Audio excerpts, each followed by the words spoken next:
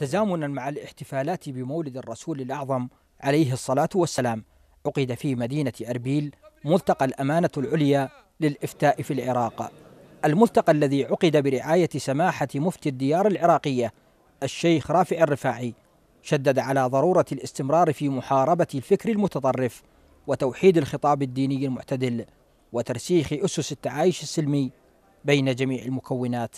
والأمانة العليا أيها الإخوة كما قلت هي مؤسسة علمية صرفة.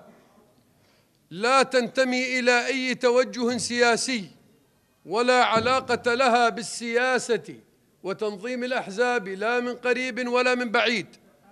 ومن شروط الانتماء لها يعني شرط قبول انتماء أي فرد إلى هذه الأمانة العليا شرطه ألا يكون منتميا إلى أي حزب سياسي.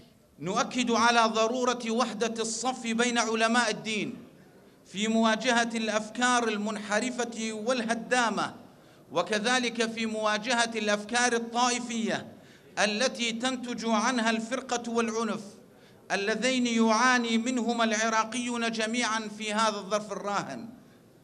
كما نؤكد نحن كعلماء الدين الإسلامي استمراريتنا في محاربة الفكر التطفيري التطرفي والتكفيري الذي لم ينتج عنه إلا العداوة والبغضاء وعدم قبول الآخر. المئات من علماء الدين استهجنوا إهمال الحكومة العراقية للنازحين الذين يعيشون في مخيمات لا تصلح للعيش البشري موجهين دعوات إلى الحكومة بأن تعمل للعراقيين جميعا.